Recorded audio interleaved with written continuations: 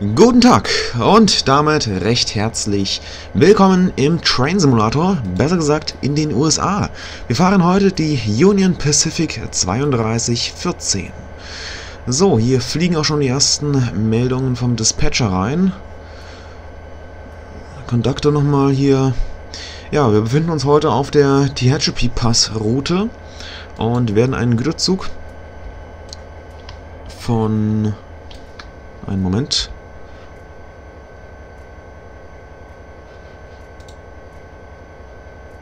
Ja, genau. Von MP 373. Das ist ein Gleis in Mojave. Mo Mojave geschrieben. Ähm, bis nach Monolith West überführen. So, die Dispatcher-Meldungen stören jetzt hier gerade ein bisschen. Na gut. Ja, hinten dran hängt ein Güterzug. Ähm, wir haben einmal Kohle geladen. Dann hier ein paar geschlossene Güterwagen noch. Ich tippe auf Zement oder ähnliches. Und ja, ich habe mir gedacht, wir machen mal einen kleinen Ausflug in die USA, in die Mojave-Wüste. Eine der ja, mitbekanntesten Wüsten im Herzen der USA, im Bundesstaat von Kalifornien müsste es sein. Und ja, die Strecke, wo wir entlang fahren werden, das ist der sogenannte Tehachapi Pass. Und der verbindet Bakersfield mit der Mojave-Wüste oder allgemein Mojave. Ja, in der Lokomotive angekommen, schalten wir uns die Instrumentenbeleuchtung ein, wenn wir sie finden. Insofern die Lokomotive überhaupt eine hat.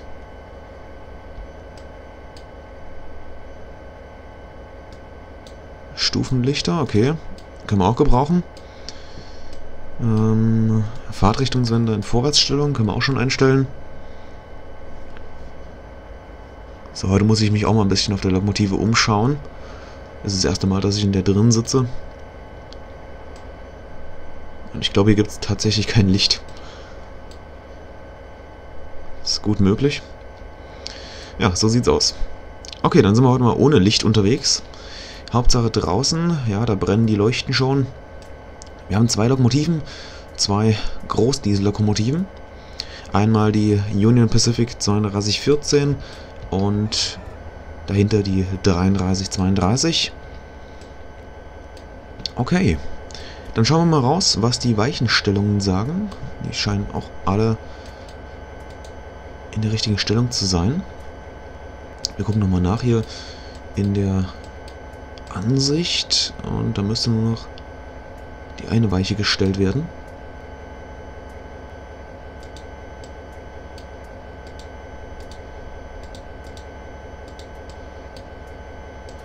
Ja, und dann sollte es funktionieren.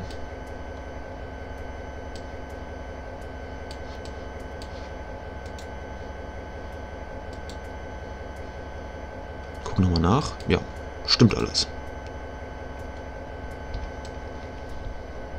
Ja, die Lokomotive in gelb lackiert mit einzelnen roten Streifen an der Seite.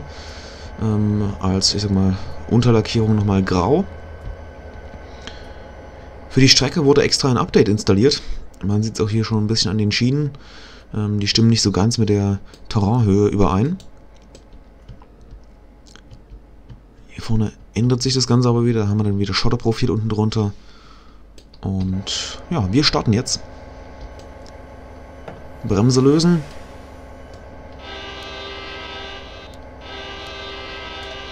Und das Signalhorn darf natürlich nicht fehlen, wenn wir anfahren wollen. So, das ist die dynamische Bremse.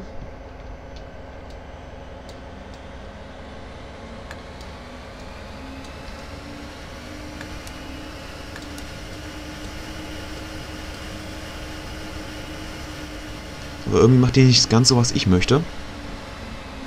Vorwärtsfahrt hast du schon ausgewählt.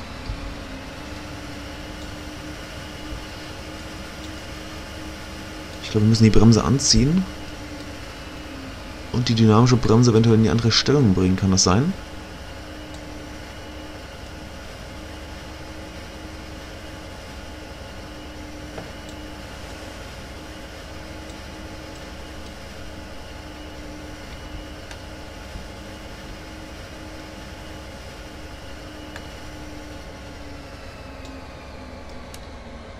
Ja, jetzt funktioniert's.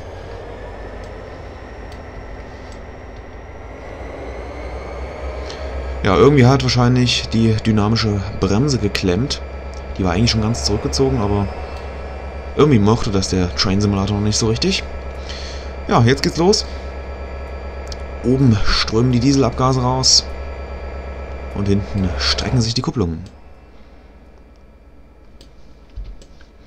Was man gerade im amerikanischen Raum äh, sehr, sehr oft wiedersehen kann, sind die Mittelpufferkupplungen. Also Kupplung und Puffer in einem Stück. Wir fahren jetzt hier mit maximal 15 Meilen pro Stunde aus. Das ist so ein kleiner Güterbahnhof. Güterabstellung. Hier befinden wir uns nochmal zwischen den beiden Lokomotiven. Also einen geilen Ausblick hat man hier auf jeden Fall. Da würde ich echt gerne mal mitfahren auf der... Oder auf überhaupt so einer amerikanischen Großdiesellok. Draußen auf den Trittpedern. Das muss ein phänomenaler Ausblick sein.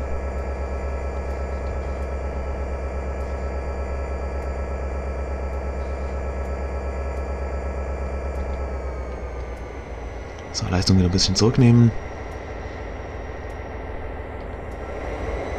Ja, ich habe mir heute mal gedacht, wir fahren mal eine Runde in den USA. Weil wir das jetzt schon, ich glaube, mindestens ein Jahr lang nicht mehr gemacht haben. Wir waren in der letzten Zeit halt hauptsächlich in Deutschland, Österreich und der Schweiz unterwegs. Hin und wieder sind wir auch ein paar Runden in Großbritannien gefahren. Und ja, jetzt mal auf einer US-amerikanischen Großdiesellokomotive.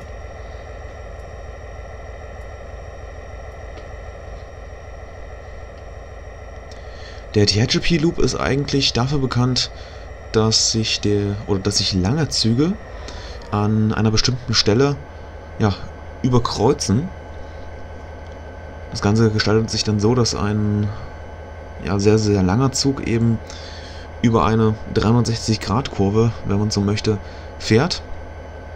Und bei großen Containerzügen, das sieht es echt cool aus wenn sich der Zug wie so eine Schlange durchs Gelände ja, schlängelt.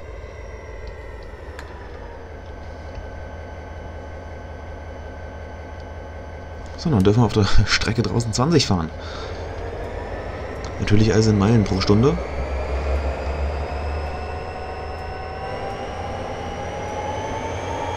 Boah. Was da an Power dahinter steckt.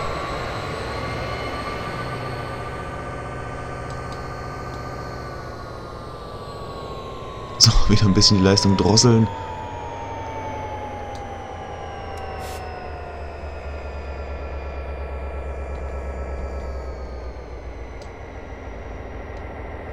Meilen pro Stunde. Auch gibt es einen, ich glaube, geringfügigen Unterschied zwischen den Meilen in den USA und den Meilen in Großbritannien. Allgemein, beim Thema Meilen gibt es ja so viele Abstufungen, Seemeilen, was da nicht noch alles fehlt. Also Meile ist auf keinen Fall gleich Meile. So, wir dürfen weiter beschleunigen auf 45 Meilen pro Stunde. Oh, nochmal die Motoren aufhören lassen. Oh, geil. 700 Power-Anzeige. Boah, krass.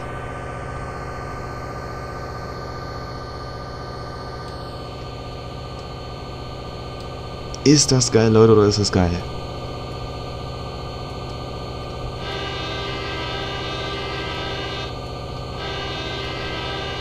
Wir kommen.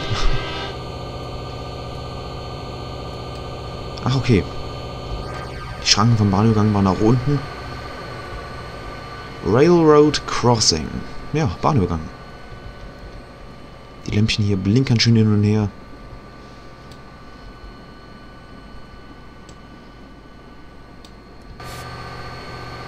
Und ich hätte eigentlich gedacht, die US-amerikanischen Großdiesellokomotiven beschleunigen ein bisschen schneller.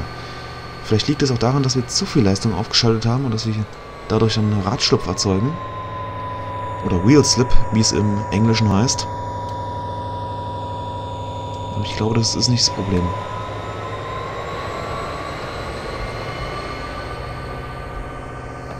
Die Bremse ist auch gelöst. Genau, sehen wir auch hier nochmal. Hier müssen wir ja auch nochmal Genau, Hauptluftbehälter wahrscheinlich. Und dann muss hier der Zylinderdruck sein, genau in Rot. In der Bremsleitung müssten 90 wahrscheinlich Bar sein. Obwohl 90 Bar, nee, ist ja ein bisschen heftig.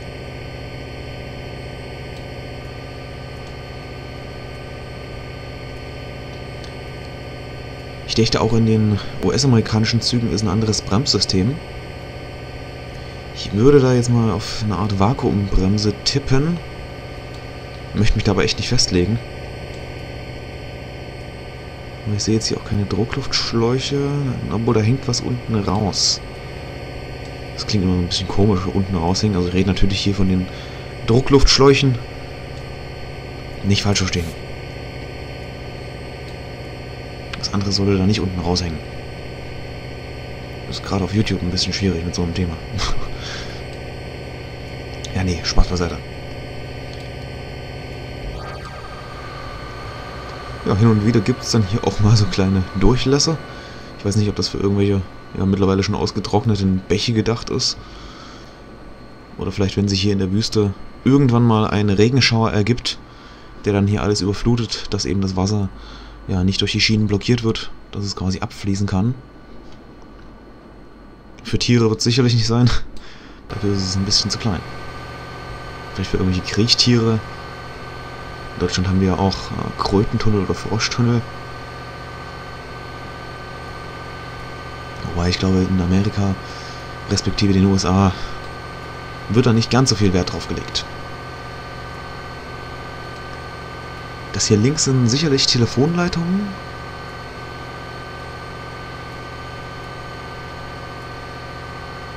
Hier hinten sieht man nochmal diese typischen LKWs. Müssen wir uns auch nochmal angucken. Das wird hier eine Art Highway sein. Oder der Chappie Pass. Den gibt es ja nicht nur als äh, Schienenverbindung, den gibt es auch hier als ja, Bundesstraße.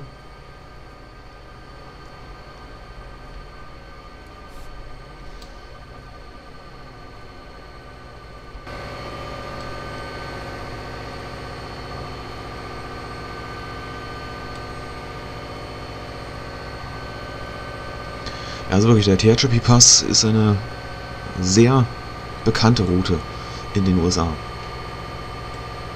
Gerade Eisenbahnliebhaber finden sich dort wahrscheinlich tagtäglich für schöne Fotomotive zusammen. So, hier sieht mir aus wie ein Cadillac.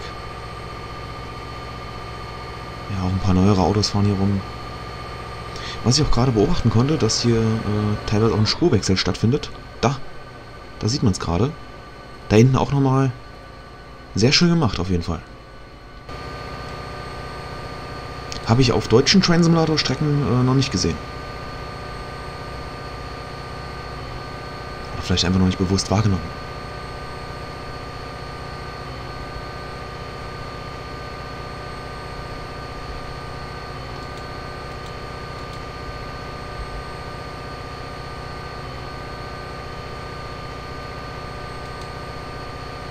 So, hier kommen wir angerollt.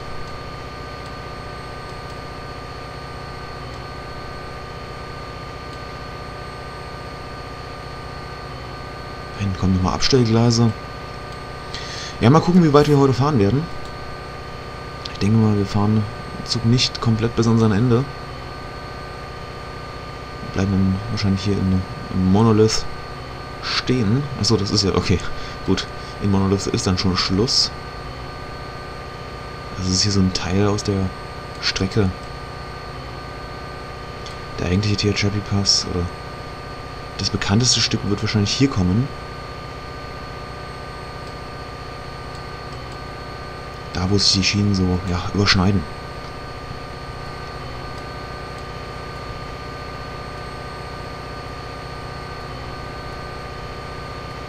Also wirklich rechts und links Wüste, soweit das Auge reicht. Hier vorne dann die Bergkette.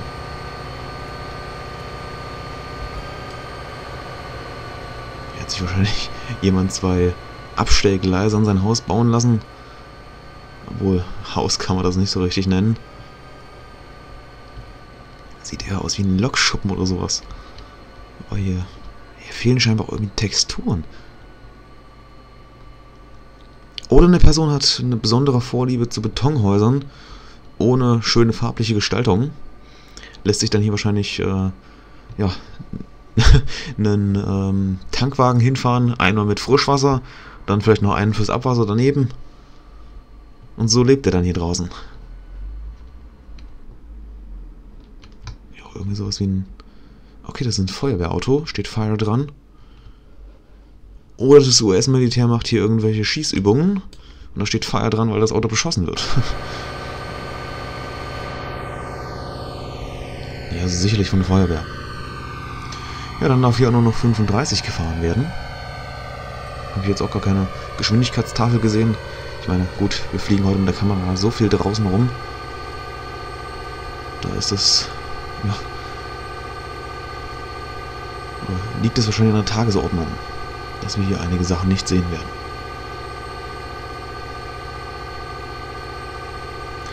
Ja, ganz klarer Nachteil hier im Train Simulator, dass der dann eben auf die Distanz ich sag mal, die Objekte hier an den Bergen nicht nachlädt. Da hat man wirklich nur so diese ja, Grauschattierungen mit den jeweiligen Abstufungen.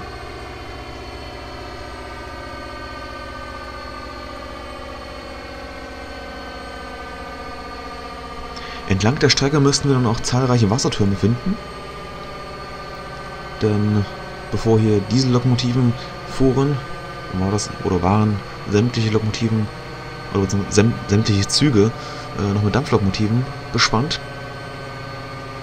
So, hier blinkt ein Signal gelb. Das ist die Frage. Hat das irgendeine Bedeutung für uns? Aber ich gehe mal nicht davon aus, da wir ja schließlich das Signal im anderen Gleis stehen haben. Aber hier steht auch so ein komischer Signalkasten. Nur fehlt das Signal.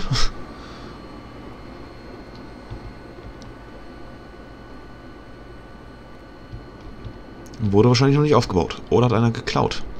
das ist auch möglich. Na gut, unser Zug ist auch kurz und ich denke mal, wir kommen relativ schnell zum Stehen. Wenn es denn nötig sein sollte. Hier unten werden mir aber auch keine Signale angezeigt. Wobei dort vorne leuchtet was, aber das leuchtet grün auf der linken Seite. Sollte also keine Probleme geben.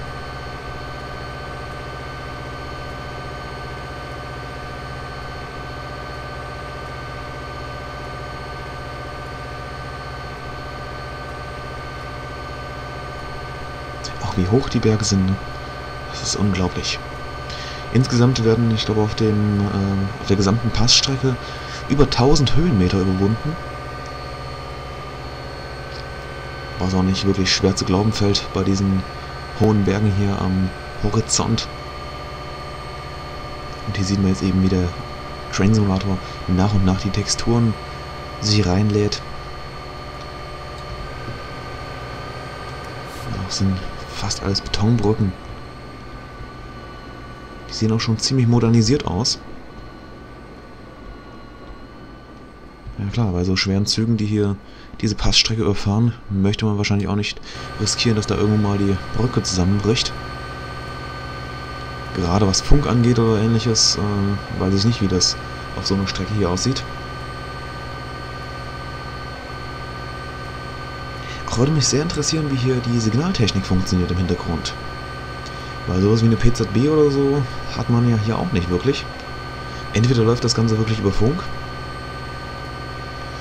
oder so eine Art, naja, Zugleitbetrieb.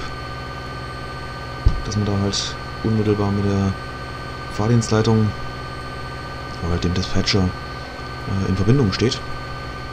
So, wir haben grün.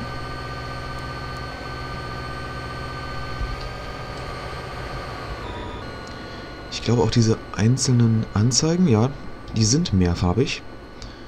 Einmal gelb, dann rot oder halt grün. Das müsste in dem Fall ganz normal Ampelprinzip sein.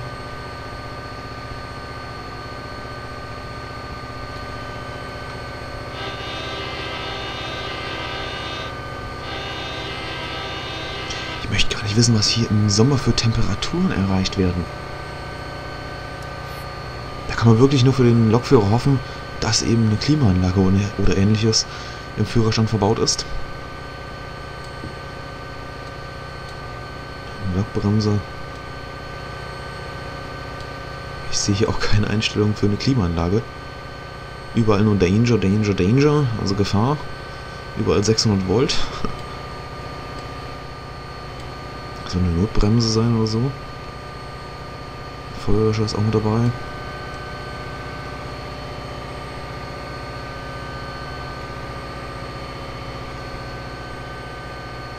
Ah, hier oben gibt es theoretisch eine Beleuchtungsmöglichkeit. Auf jeden Fall bei den echten Lokomotiven. Die schönen Ledersitze.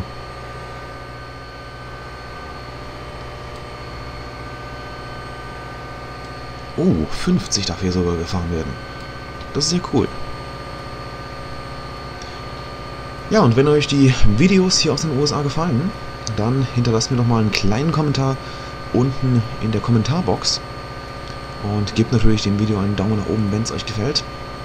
Wenn nicht, dann lasst es bleiben. Dann registri registriere ich das so.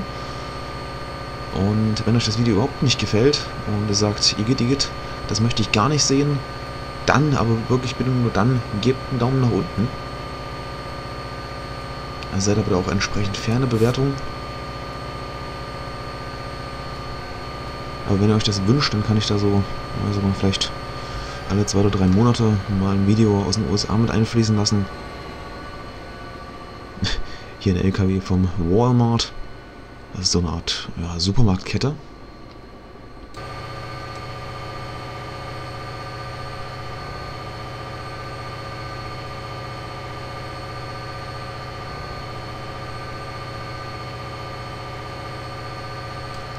Okay.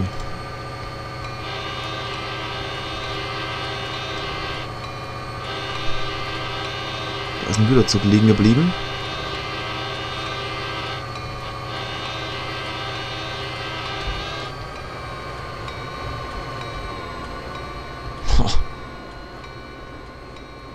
Ja, ja, da kommt gleich so eine ganze Mannschaft zusammen.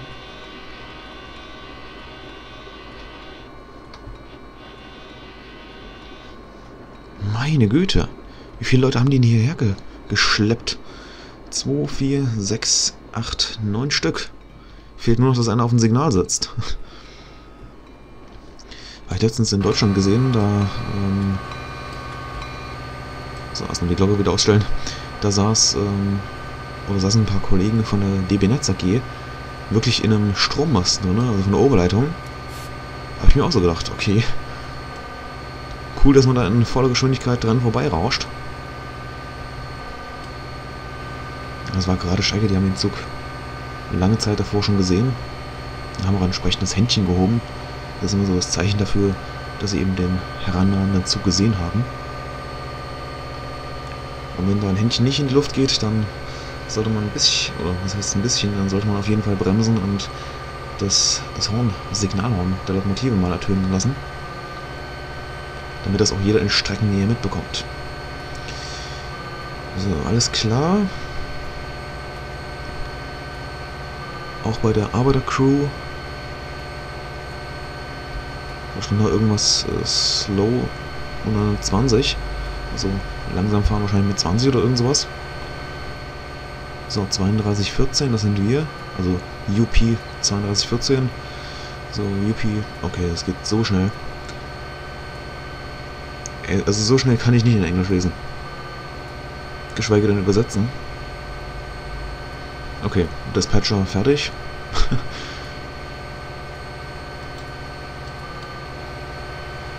Ach, zweimal gelb. Das heißt, sicherlich langsam fahren und Halt erwarten. Bisschen Leistung lassen wir aufgeschaltet.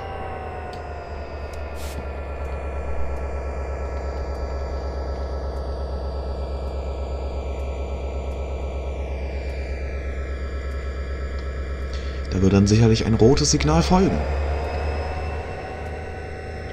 So 50% Leistung sollten immer noch zur Geschwindigkeitsregulierung beitragen.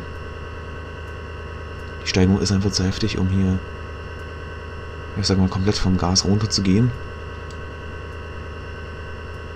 Ah, da vorne wird es wieder grün, wie es scheint. Da kann man nochmal auf 100 gehen.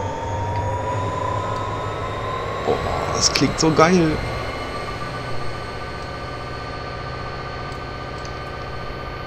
Den Dingen steckt aber auch eine riesige Menge an Power. Das ist unglaublich. Ja, dieses schöne Läutwerk kann übrigens mit der Taste B aktiviert werden auf der Tastatur. Für all diejenigen, die ja, überhaupt US-amerikanische Lokomotiven auch im Train-Simulator fahren. Und das Horn mit der Leertaste.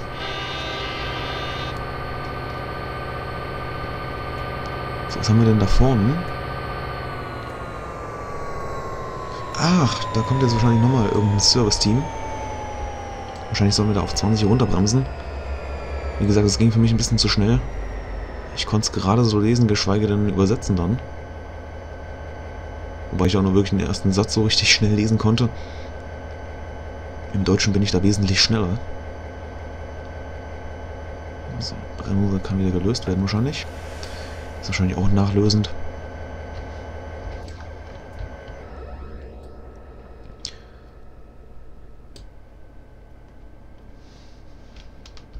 Okay, hier müssen wir noch mal ganz kurz nachgucken, ob wir hier wirklich in das äh, Gleis rechts reinfahren sollen. Ja, tatsächlich.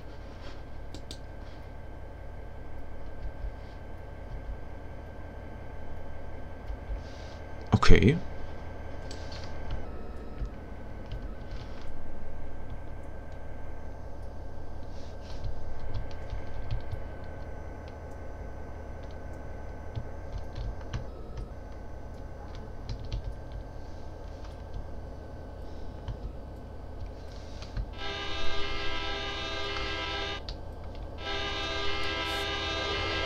Und da kommen wir. Boah. Hoho.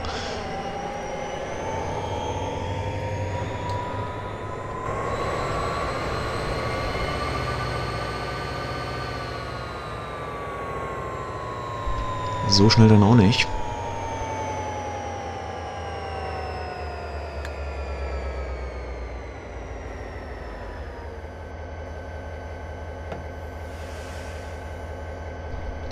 Hier sind sicherlich noch die 20 Meilen pro Stunde.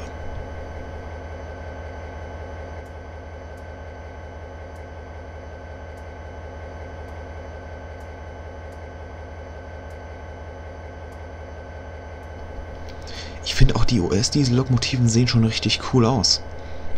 Bei denen vermutet man richtig, dass da ja wirklich Leistung unter der Haube sitzt. Dann auch sehr typisch für die Lokomotiven, dass man eben die, ja, ich sag mal, sehr breit aufgebauten Führerstände hat. Meistens eben nach rechts oder links ausgelagert.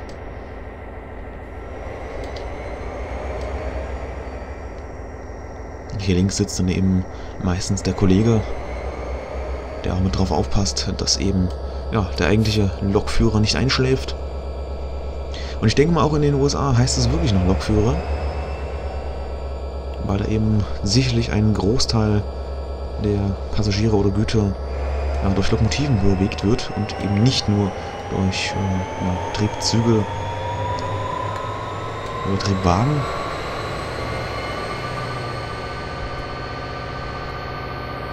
Sondern die Vereinstrecke darf dann wieder beschleunigt werden.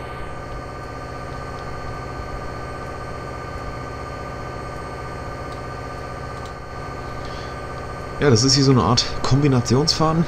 Wir müssen uns so ein bisschen zusammenreimen, äh, wie der jeweilige Aus äh, Auftrag immer aussieht. Aber das werdet ihr natürlich nochmal durch die Videobeschreibung erfahren. Das finde ich auch immer so interessant. Äh, mich würde es mal interessieren, wer von euch überhaupt ja, in die Videobeschreibung hineinschaut.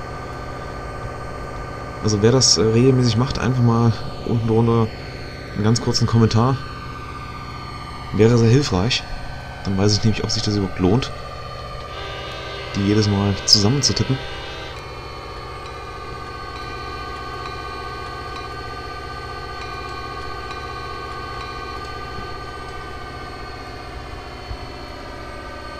Unglaublich.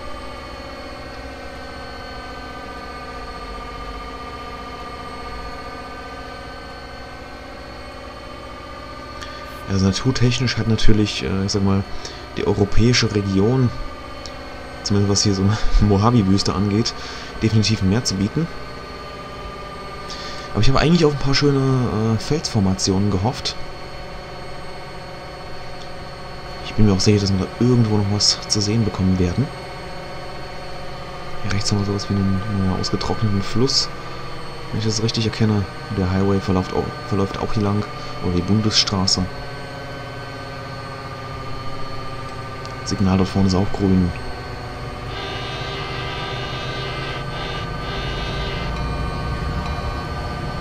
Ja, der Kollege oder die Kollegin waren direkt wieder mehrere Lokführer vorne drin.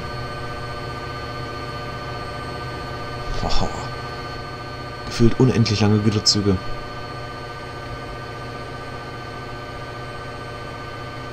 Ja klar, um diesen sag mal, hohen Berg zu erklimmen, oder die Gebirgskette, da braucht es natürlich einiges an Power. Und man sieht es auch, die Taronadel steigt wirklich nur sehr, sehr, sehr langsam. Wir sind kurz vor 40 Meilen pro Stunde, bei 36 ungefähr. Der ein oder andere von euch hat auch bestimmt den äh, Film Unstoppable gesehen, wo mit äh, ähnlichen Lokomotiven, ich sag mal, hantiert wird und ein bisschen Unsinn getrieben wird. War lange Zeit auch mein Lieblingsfilm, muss ich ganz ehrlich sagen. Was eben ja, Eisenbahn mit angeht.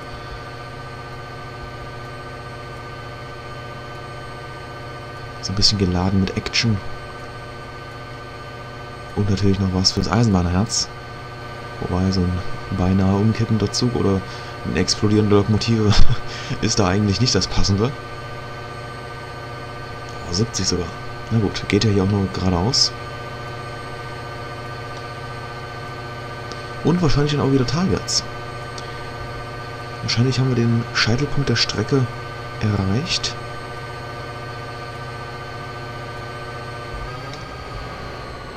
Jedenfalls für das Stückchen, wo wir hier fahren.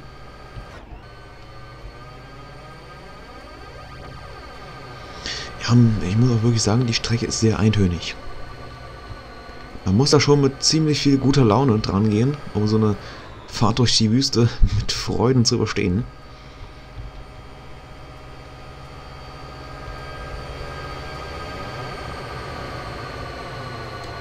Dann brauchst du die Bildzone und vorbei. Ja, hier draußen begegnet man nicht so vielen Lebensformen. Ein schöner Güterzug, ja. Mit ein paar Lokführern drinne ein, zwei Autos. Hier sieht man es gerade nochmal. Und dann, keine Ahnung, was hier lebt. Täglich äh, grüßt der Iltis oder wie. Ja, aber ich glaube, hier, hier lebt kaum irgendwas. Vielleicht irgendwelche Kriechtiere. Schlangen könnte ich mir vorstellen. Wie es hier mit Skorpionen und sowas aussieht, weiß ich jetzt nicht. Die Erfahrung möchte ich nicht unbedingt machen, auf so ein Tier in der freien Wildlaufbahn zu treffen. da fühle ich mich persönlich, das ist eine subjektive Meinung, dann doch wirklich auf dem europäischen Kontinent ja irgendwo wohler. Wobei auch da gibt es genug giftige Tiere und, oder ähnliches.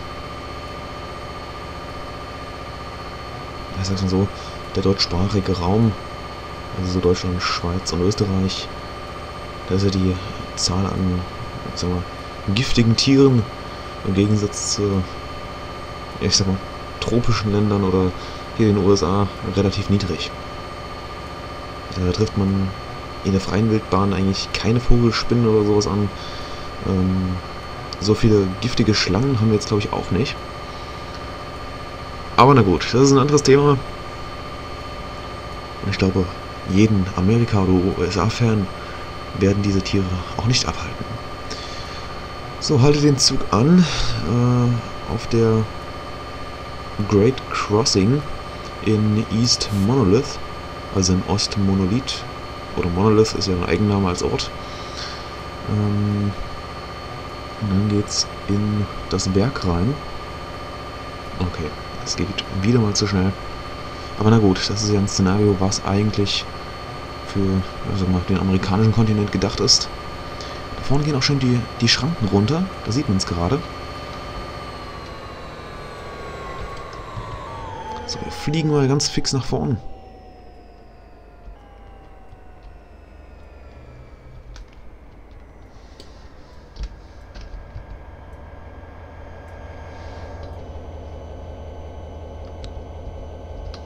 So, dann gehen wir nochmal hier in die Ansicht.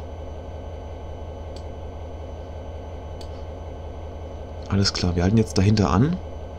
Und dann drücken wir den Zug rückwärts rein. Das müsste ja passen, ne? Ja.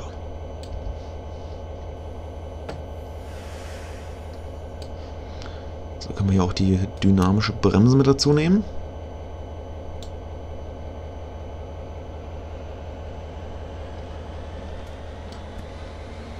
Ich weiß nicht, ob das so gedacht war, dass wir von vornherein durch das Abstellgleis reinfahren. Aber das hätte ich zeitlich nicht geschafft, die Weiche manuell umzustellen.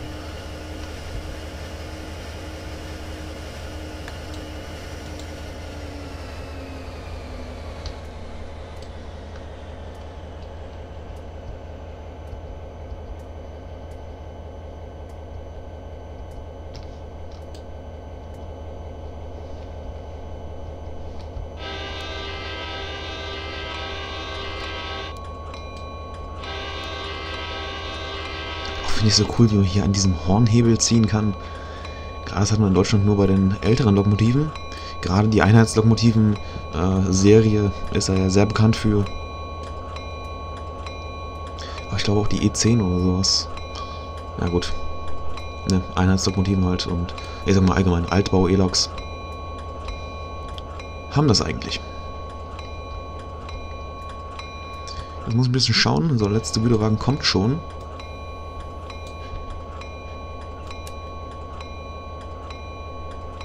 Gehen wir nicht. Wir gehen mal auf der Hälfte.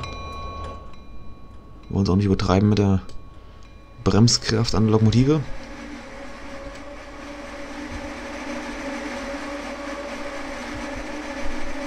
Oh, geil, wie die Bremsen knarzen.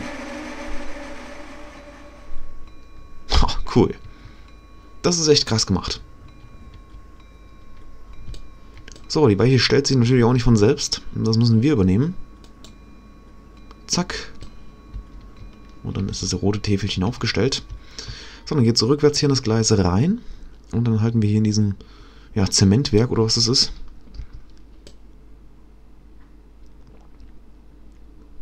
Jetzt ist die Frage, ist die zweite Weiche auch richtig gestellt? Ja, genau.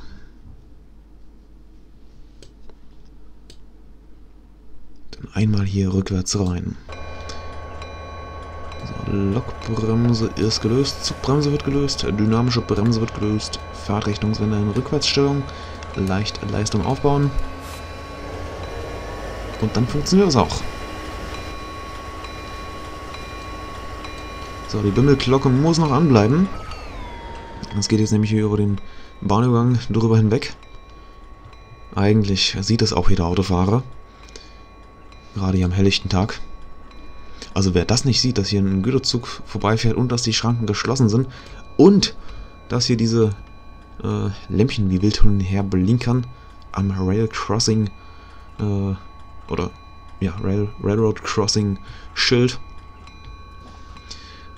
Der sollte auf jeden Fall nicht mit einem Führerschein über die Straßen fahren. Maximal als Beifahrer. So, ich mache das jetzt mal aus, das ist echt ein bisschen störend, finde ich. Könnt gerne nochmal hupen. Damit das auch wirklich jeder Autofahrer mitbekommt hier in der Mojave-Wüste. Da sieht man hier auch am Boden, das ist wirklich... Ja, da kann, da kann man nichts anpflanzen oder ähnliches. Eventuell ein paar Kakteen. Aber ich meine, wer möchte schon einen Garten haben, wo nur zwei oder drei ja, Kakteen drin stehen? Ich meine, so ein Kaktus im Wohnzimmer ist ganz schön, aber ein ganzer Garten voll damit? Nee.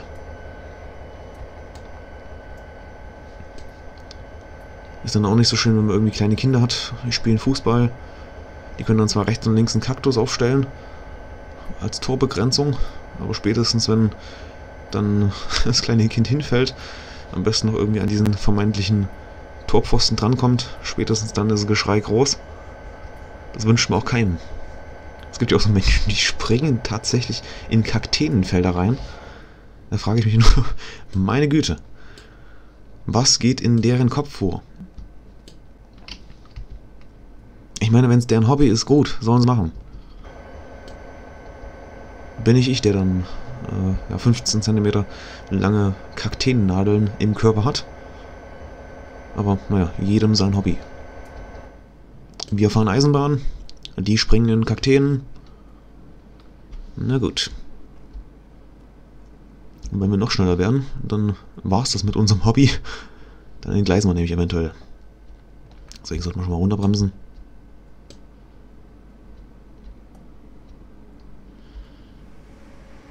Ist doch sicherlich ein Zementwerk, oder?